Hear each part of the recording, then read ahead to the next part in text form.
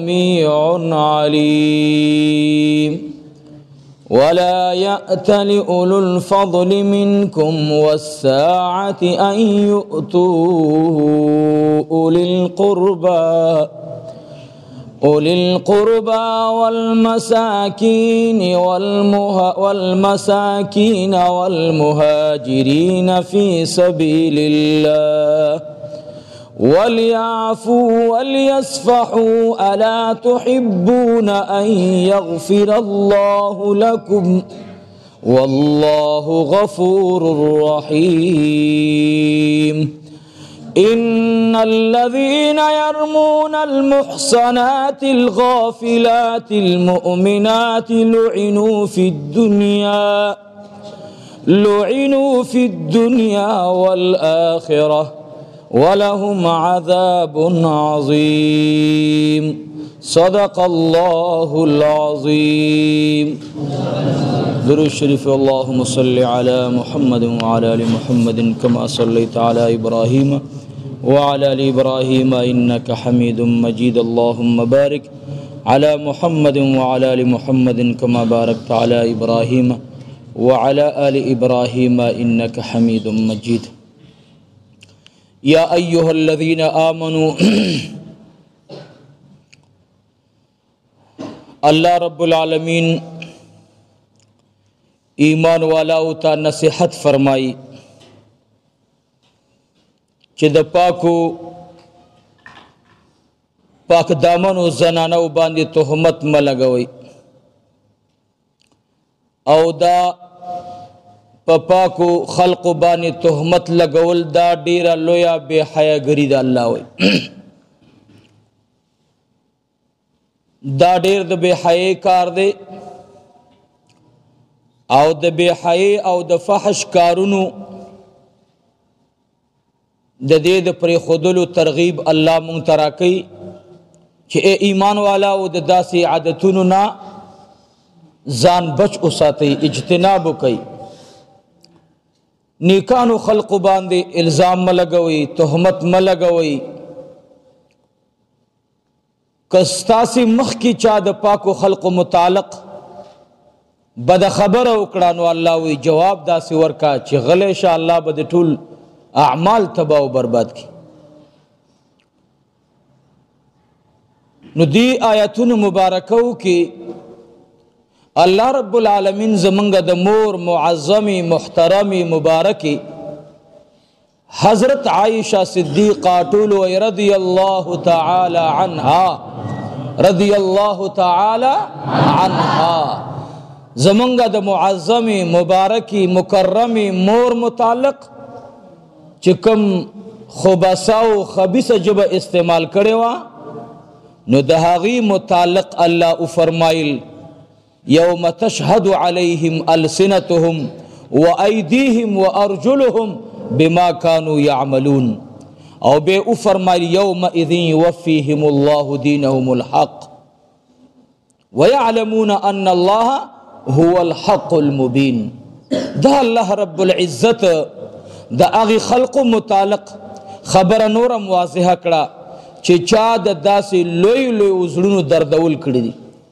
لوی زلونو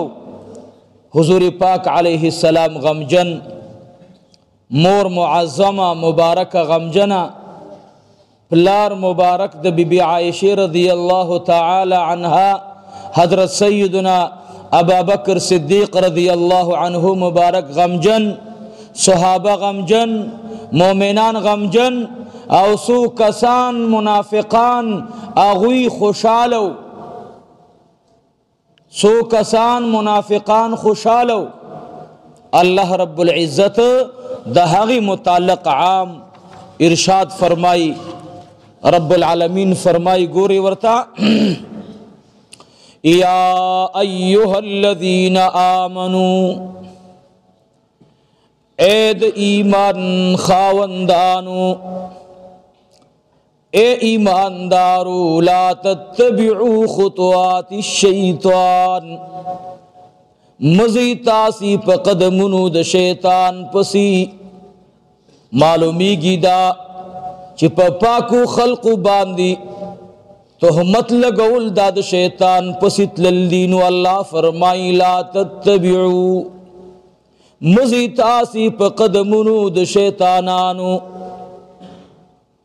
ومن يتبع او سوق چې لاړو په قدمونو د شیطانان فانه يأمر بالفحشاء والمنکر پس د اغي خو کار د بحی خورول دي د بدی خبري خورول دي داغي خودن کوي خلق لرا يأمر کوي امر کوي په فحشاء او منکر باندې نو چې څوک د شیطان پسې لاړل نو ځان تباہ او برباد کړو الله فرمایي ولولا فضل الله علیکم او کنوې فضل د الله پتا سو باندې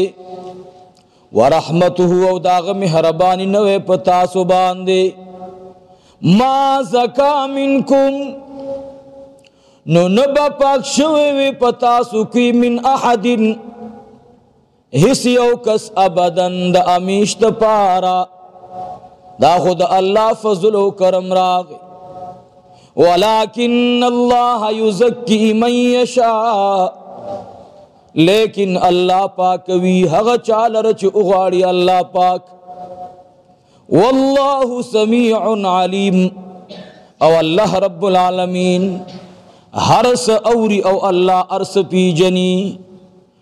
ولا يأتل اولو الفضل منكم والسات دی آیات مبارک باندې علما فرمایي او دا آیات په حق د سیدنا ابا بکر صدیق رضی الله تعالی عنہ کې نازل شوه دی وای حضرت سیدنا ابا بکر صدیق رضی الله تعالی عنہ د دې یو نږدې رشتہ دار یعنی د دې خوره د بیبي عائشه رضی الله تعالی عنها د ترور زوی حضرت مستح رضی الله تعالی عنه سوګو مستح رضی الله تعالی عنه دا نږدې رشتہ دارو د مهاجرینو نو دی د خلی مبارک نه اوم داسې الفاظ وتلیو چې داغي په وجه باندې دی بیا ډیر زیات خپېمانو خپو ګور دا یاد ساتي ډیر پاک خلقم کله کله دوکه کې کیوزي ښا الله د انسان متعلق وي او خلق الانسانو ضعیفا ډیر پاک خلق وي دا بنه چې دې کس دا خبره ولې کړې ده پاک سړی وي خبره تین الله لشه بس د الله نه دی عفو غواړي الله عفو کوونکی ذات دی خدای ډیر مهربان دی الله رب العالمین انتهایی مهربان دی ښا مور او د بچی په منځ کې کله جړب راځي کنه دا هم کتلې دي چا چې بچي وي نو کله کله پلار ډیر غوسه وي ورته په سپېړې مو وخی تر دې د کور مو باسي خو ګوره که بار ورته چا ویل چې د پلان کې بچیا نو بیا ورپسې ورځي وي ښا زمانه د حیا و نشوه یله کنو تا لس پیړی والو که د ورته معمولی خبره وکړه نو د زوی او د مور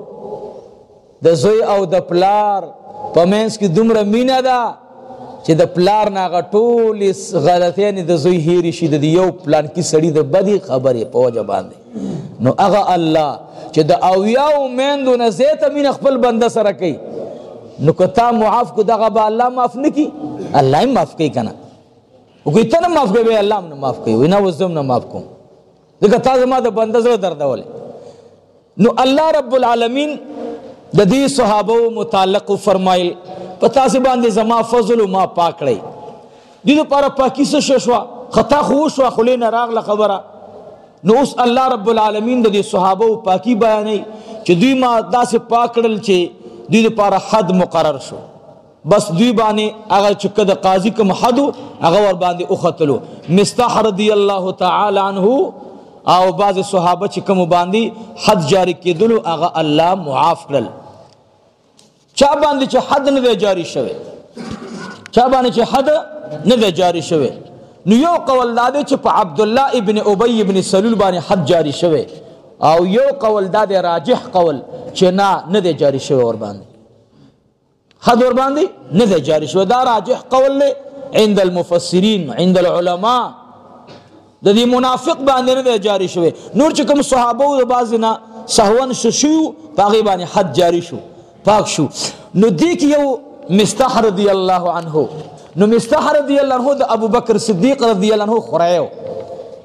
د بی عائشه رضی الله تعالی عنها د ترور زيو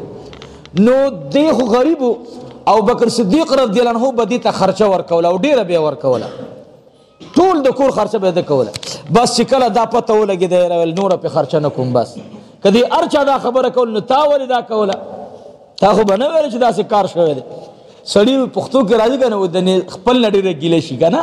پردین او پردین خو ګیله نه خپل نقل ګیله کوي الله دې موږ او تاسو ټول یو بل تخپل نږدې کی ښا خپل ګوري خپل زمونږ او تاسو مینس کې رشتہ کومه ورشتہ ده لا اله الا الله محمد رسول الله صلی دا بهترین رشتہ ده ګوري دې ته یو رشتہ نه رسیږي صاحب اعلی بهترین رشتہ ده نو بیا محترم دغه رشتہ چې ده دا قوي او مضبوطه رشتہ ده نو په دې رشتہ باندې صحابه تړلې شي سره خدای خوریا هم نو او فرمال چې نور ور باندې صدقه نکوم بس ختم شو نو دا آیات را نازل شو دا آیات راغې چې اے ابو بکر او اے د ابو بکر صدیق رضی الله تعالی عنہ خاندان سل رحمی پرې دی او د قسم خلو ابو بکر صدیق رضی الله عنه چې دا بنور نکوم بس نو الله اوس داغه متعلق فرمای نو دا آیات د چا باره کې را نازل شوه سبحان الله اوس ګور الله ورته څومره مقام ورکړي او نن دور کې بعض خلق د ابو بکر صدیق رضی الله عنه باره کې ډېری بیا د خبرې کوي دې سره ایمان زی ګوره الله فرمای ولا یاتل اول الفضل منکم او قسم دی نخری الله وی دلی درجی والا اول الفضل ابو بکر تعالی سوی اول الفضل خاوند عظمت والا خاوند درجه والا سمره لوی درجه ده الله فرمای ولا یاتلی او قسم دی نخری الله وی اول الفضل منکم د لوی درجی والا پتاسو کی وسعاتی او هغه انتهایی لوی وسعت والا انسان پراخ لاس والا انسان چې خرچه به کولا ففقیرانو باندې وسعاتی خاوند پراخی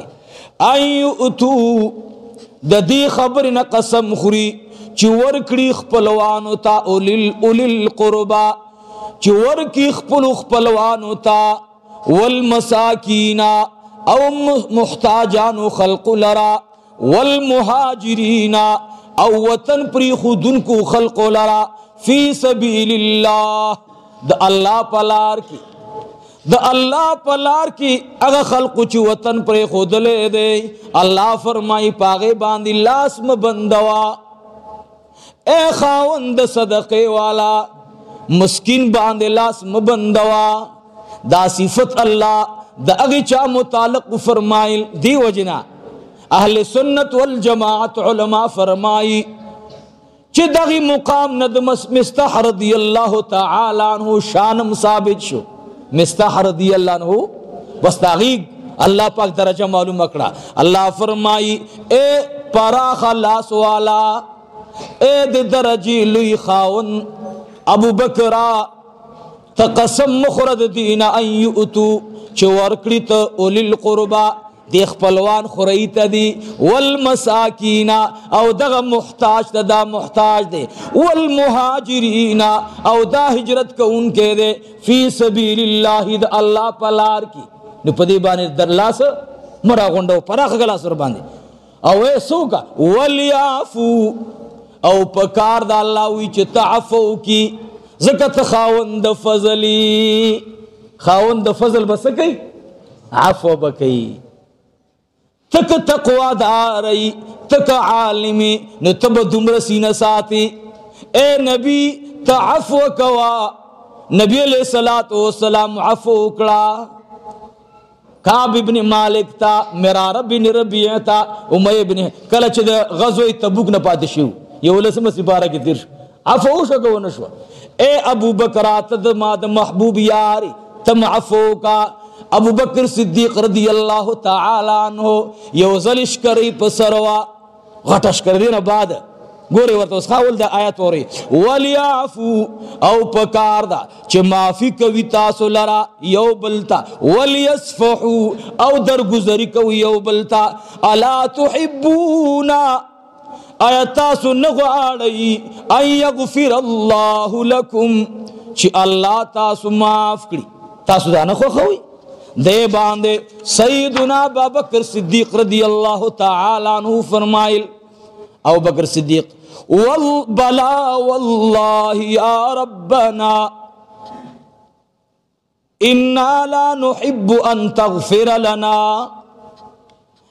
اې زما ربه زما دی قسم وی پتا باندې ته زما ربي زدا خو خو ما چې زما مغفرت شي الله نستا مغفرت پس کړي زدا غواړم یا الله الله سو فرمایل الا تحبون آیا تاسو دا نه غواړي ان یغفر الله لكم چې تاسو بخنه زوکم نو ابو بکر سو فرمایل بالا ولنا مستح رضی الله تعالی عنہ ته یو ځل روان دي شکرای په سر دا ابو بکر صدیق نه خولي روان دي مخی تی سیدنا عمر فاروق راغ ورتوی یا ابو بکر صدیقا دا چیر تروان وی فرمائل دا د مستحت علماء ورتو فرمائل والله اے ابو بکر ستا پشانتی حلیم متبت انسان مالی دلے ندے ورته او فرمایل مخکې به مستحه ته زما کور ته راتللې اوس به زه ستا کور ته غله دروړم اوس به دې کور له دې ته ایمان وي ښه ان یغفر الله لكم والله غفور رحیم او الله بخنی والا دې مهربان ذات دې مهربان ذات دې ان الذين يرمون المحصنات الغافلات کم خلق چې عیب لګوي الله وی په پاک دامنو نکاح شو خو زبان دي الغافلات چاغوی نا خبر دي د اغه سن چې تاسو ورپسې تړي المؤمنات ایماندار خوزنا نو چا چې دغه کار وکړ الله وی لعنو فی الدنیا والآخرہ په دوی لعنت ته په دنیا کې او په آخرت کې ولهم عذاب عظیم او دوی د پاره د عذاب لوی الله دې موږ تاسو اوساتي یوم تشهد علیهم الله وی گواہی په دوی باندې کوي السنتهم جبد دوی و ایدیهم او لاسونه دوی و ارجلهم او خپې د دوی بما کانو یعملون په هغه چې دوی کول اے الله وی گواہی بکی په دوی باندې جبی د دوی سوره یاسین کې الله فرمای الیوم نختم علی افواههم البته الله سوی په جبو به الله مهرونه ولګی دلته الله فرمایي تشهد علیهم السنتهم جب به ور باندې گواہی ورکي ال تعالی وي مہر به په لګول شي دا سرنګ چل دی نو جواب دا دی علما وکړي دي هغه په حق د کافرانو کې دي کافران بچا لا کی کی مونږ دا دان دي کړي الله به جب بندي کی نو به به په جبه کې طاقت نه وي چې خبرې وکړي صحیح شو او دل تعالی رب العالمین هغه خلق چې دا غوي جبي په اختیار کې وي په اختیار کې بد دوی با اختیار جبي بوي اختیار به پوسره وي الته خو بجب به اختیار شي خبرې به نشي کوله دلته به الله و اختیار ورکي نو دا بجب خبرې به شروع کی او یا الله په بیبي عائشه باندې دا الزام لګولې دي خدای زور باندې گواهی کوم زه ته کړه دي پاکو خلق باندې دروغ الزام ملګوي دا ډیره خطرناک خبره ده الله فرما یوم تشهد علیهم چې گواہی باور کوي په دوی باندې جبې د دوی و ایدیهم او لاسونه د دوی و ارجلهم او خپې د دوی بما كانوا يعملون هغه چې دوی بکول یوم اذ یوفیهم الله په دغه ورځ به الله پوره ورکړي دوی ته دینهم الحق الله به ورکړي دوی ته دین په معنا دلته د حساب دی یو روایت سره او بل امام ساوی رحمت الله علیه فرمایي چې دلته دین په معنا د جزا دی نو معنا دا یوفیهم الله دینهم الحق په دغه ورځ به پوره ورکړي دوی حساب او پوره به ورکړي دوی ته الله رب العالمین په ورځ د قیامت باندې جزا د دوی او هغه حق ده ويعلمون او پوی بشي الله وي ان الله چې بشک الله رب العالمین هو الحق المبین الله رب العالمین هغه د رښتونه ښکارا کوونکې الخبيثات للخبيثين نور ترجمه کو بس کو الخبيثات للخبيثين غند خزي الله وي د للخبيثين د غندو سړو د پار دي والخبيثون او غند سړي للخبيثات د غندو خزو د پار دي دا یو ترجمه ده مونږ بیا ګوري الخبيثات پلیتی خبري پلیتی خبری الله وی للخبیثین د پلیتو خلو نراوزی یعنی خراب خبرو د پاره خراب جبی وی خراب سړی وی دا د خپل شیخ ترجمه درته کو پلیت انسان د خلینا پلیت خبر راوزی درون انسان نه خوږ انسان نه خوږی خوږی خبر راوزی قران وی که عبد الله ابن ابي ابن سلول رئيس المنافقين زما پپا کی بی بی جناب رسول الله فرمای که پپا کی بی بی عائشی باندې چا جبه خوځولې ده نو ړومبی هغه انسان و چې هغه ډیر پلیت انسان دی څه نامه یې ده عبدالله ابن ابی ابن سلول رئیس المنافقین نو پلیته خوله وه او پلیتې خبرې ترې راووتلې پاکه خلی نه پاکه خبر راوځي الله دې زمونږ او تاسو ټول خلی پاکه وګرځي الله فرمای الخبيثات غند خبري للخبيثين د غندو خلون او د غندو سړو نه راوځي والخبيثون او غندا غند خبري غند سړي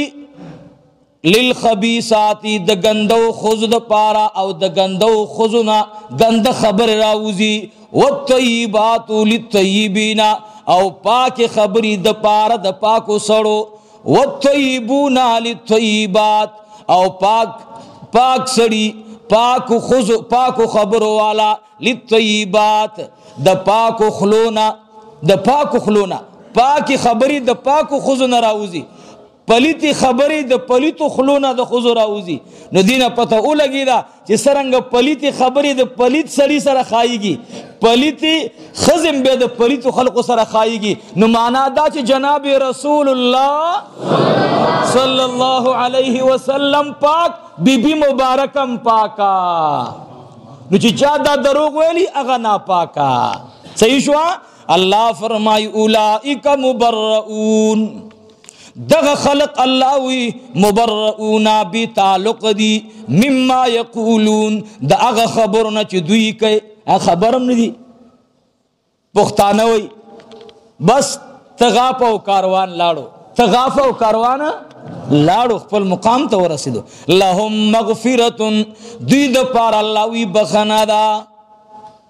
ورزق کریم دا د چا په حق کې دی د آیات سیدنا عائشه صدیقه رض پنزلس آیاتونه داغه په حق کرال د چا په حق کې رازوز د خبره تا حافظ ابن حجر رحمه الله فتح الباری کی اتم جلد کی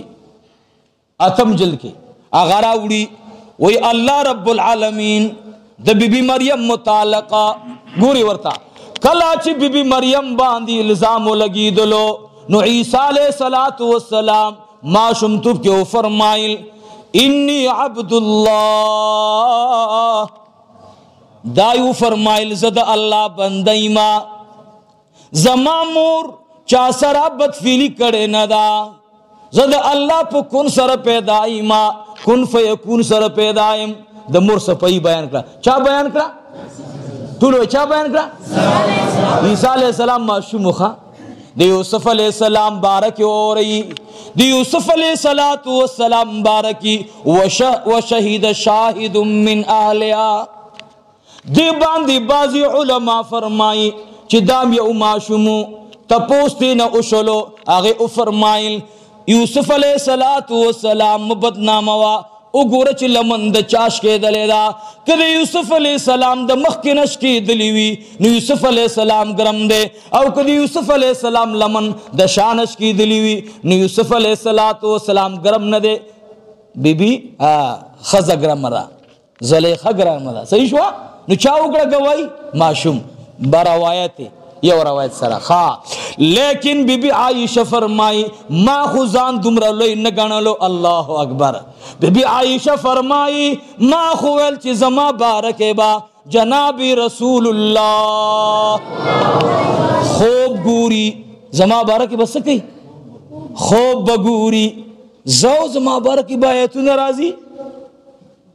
وې کله چې زکور تر عالم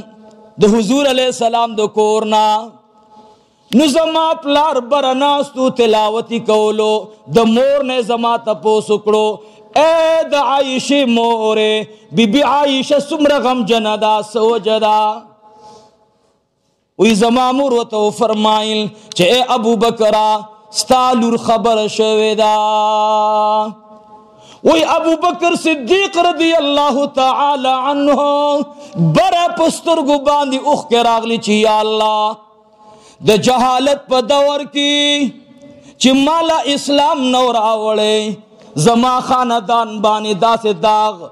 داسې الزام چا لګولې نه دی یا الله چې کلم ایمان راوړلو د اسلام عظیم نعمت تیرا نصیب کړلو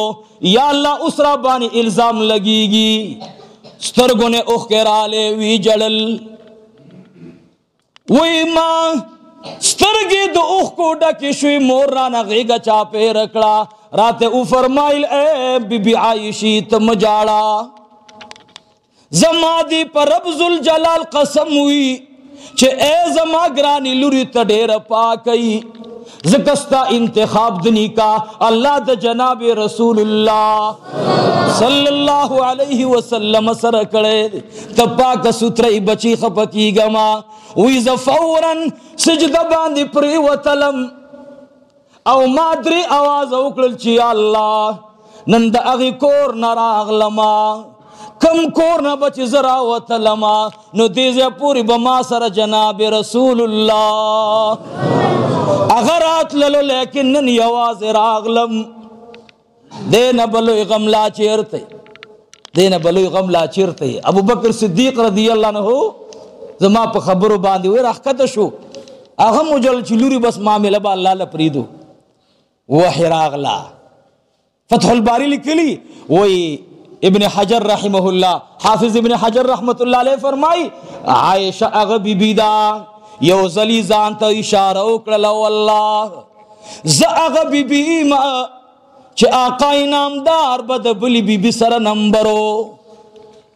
نو حضور علیه السلام بس پکې ډېر ډېر بار بار وتلو چې یا الله شپه زر سبا کې چې شپه به سبا شوه لومبه ملاقات بسار زما سره د جناب رسول الله صلی الله علیه وسلم کله به یې چې ما سره نمبر و، په هغه سهار باندې به نبي علیه السلام ناوخته پورې ما سره و. فرمایل به ای عایشه ما ته ډېره ګران ما ته ډېره ګران او ای عایشه چې کوم ما ته ګران شي هغه جبرائیل امین ته ګران وي او چې جبرائیل امین ته ګران شي هغه الله رب العالمین ته ګران وي به او فرمایل ز هغه عائشه ما چې نبی علیہ الصلات والسلام زما پسینه باندې اخیری مخه خمانه واغستلا ز هغه عائشه ما چې زما کوټه د نبی علیه الصلاۃ والسلام د قیامت ته پورې اخیری آرامګاه جوړ شولا اخیری آرامګاه روزه په کوم ځای کې ده روزه د عائشه رضی الله دا څور ته ملاو شو دا دنیا کې ور باندې الزام لګیدل د سوکړه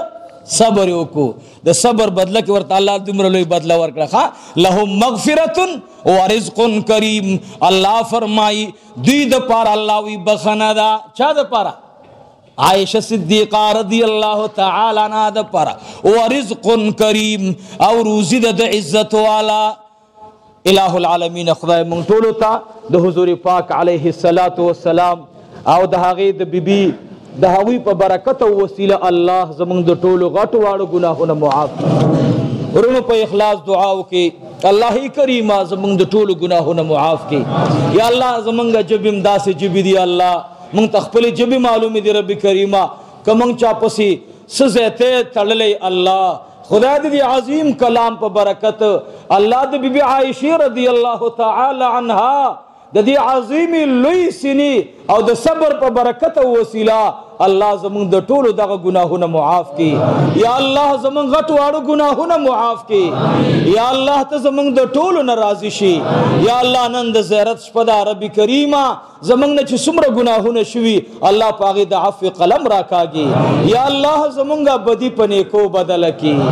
یا الله زمونږ بدی پنې کو بدل کی یا الله زمونږ بدی پنې کو بدل کی الله کریم خدایا سمر دوستان الله سپنګری مشران یا الله ځوانان کورونو کې زما مین دی او خوین دی الله ملمانه الله د لری زینا نږدې نه چې څومره راغلی رب کریم هر یو ته قدم قدم باندې الله خپل رضا ور نصیب کی یا الله دا درویشان رونه زما الله دا فقیران رونه زما الله په خپل بچو خوشاله کی یا الله د چا چې څومره شرعي حاجتونه وي الله ته د خپل خزانو نه پوره کی دعا وکي الله څوک چې موږ فقیرانو سره مینه کوي الله خدایه ته بچو باندی د خوشحالی څادر قیامت پوری قایم او دایم وساتی یا الله په خپل بچو باندی خوشحاله کی الله سوک چې مونږ فقیرانو سره مینه کوي محبت ساتي الله تته ناراضی شي یا الله تته نه خوشاله شي یا الله تو ورته د خوشحالي دروازې کولاو کې الٰه العالمین الله سمره دوستان الله کریم د دعا په نیت باندې الله د لری او نږدې ناراضي الله ټول ته نعم البدل ور نصیب کی جزای خیر ور نصیب کی الله سمره مسلمانان جیلونو کې پراته دي دعا وکي یا الله د جیلون نه زمونږ مسلمانان ورونه الله خدای خپل کورونو ته روغ رمټ راولي الله روغ رمټ راولي الله روغ رمټ راولي الله قرضاران د قرضونو نخلاص کی د مشرانو مغفرت نصیب کی او الله مونږ ټول حرمین شریفین ته بوت لکی الله بار بار متلل نصیب کی الله بار بار محاضری نصیب کی دعا وکي الله د دین د دعوت لپاره الله د دنیا ګډ ګډ ته مونږ قبول کړي الله زمونږ مقتدیان قبول کړي زمونږ دوستان قبول کړي زمونږ شاګردان قبول کړي زمونږ متعلقین قبول کړي الله زمونږ د ټولو په آخر وخت دا کلمه نصیب کړي لا اله الا الله محمد